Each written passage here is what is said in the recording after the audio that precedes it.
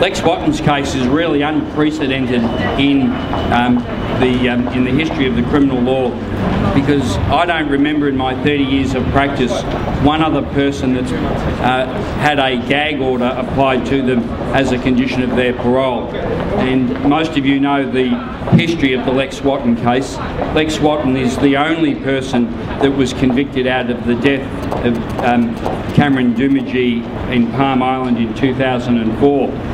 The perpetrator of that crime, Chris Hurley, uh, Sergeant of Police in Queensland, um, was acquitted by an all-white jury uh, of uh, death. Uh, and Lex Wotton, who was a council representative on Palm Island, a leader and an elder within the Indigenous community in Palm Island, is the only person to have been convicted as a result of that very sorry and sad episode in Australian history.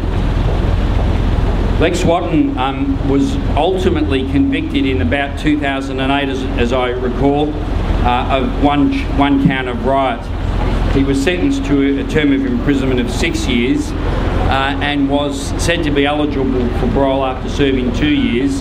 Um, and he's been released recently, or more recently, from custody with this special condition that he not speak to the media or attend any public assembly.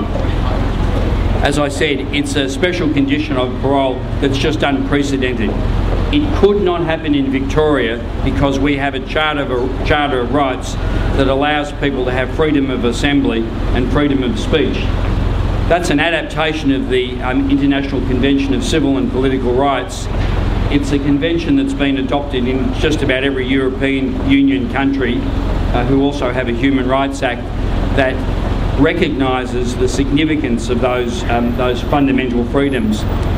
Lex Wotton could not have received the same conditions of parole if he was in the United States. They have a Bill of Rights that protect individual rights, including freedom of speech and freedom of association. Um, it could not happen in New Zealand, it could not happen in Canada, yet it happens here in what's said to be a pluralist, pluralist robust democratic society. Well, um, friends, uh, we know that we pay lip service to those um, fundamental principles in this country, and it depends on where you stand in the um, social demographics as to whether you can enjoy those freedoms. If you're one of the marginalised, if you're from um, the Indigenous community, if you are an, an, asylum seeker or if you are uh, of a minority ethnic group, then you don't enjoy the same freedoms as those that are in the mainstream white community.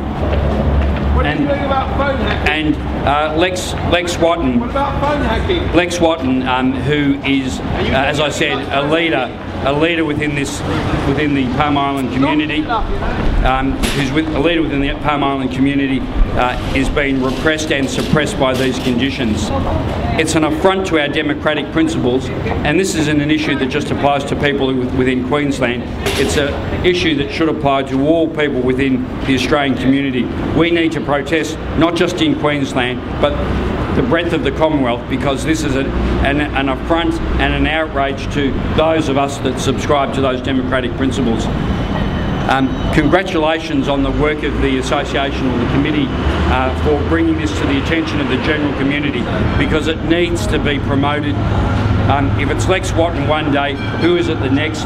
We've seen an incremental erosion of our rights since 9-11 under the guise of counter-terrorism. We've seen the adaptation of those laws shamefully in the World Economic Forum protest. We've seen an adaptation of them in the Youth, uh, youth uh, World, World Youth Day in Sydney, where we've had exclusion zones, we've had the prospect of arrest without cr any criminal offending, and more shamefully, we've seen them adapted in the industrial context in the Australian Building and Construction Commission. Um, the um, Human Rights Law Centre has taken on the challenge of, uh, of Lex Wotton's case, and hopefully um, in the middle of this year or in the, the third quarter of this year, there'll be a challenge to the High Court as to those conditions of uh, his parole.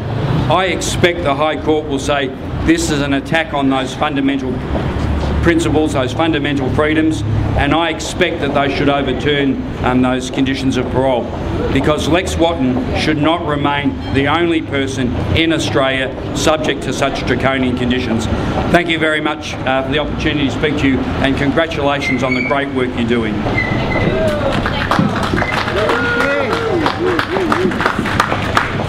Okay, well thank you very much.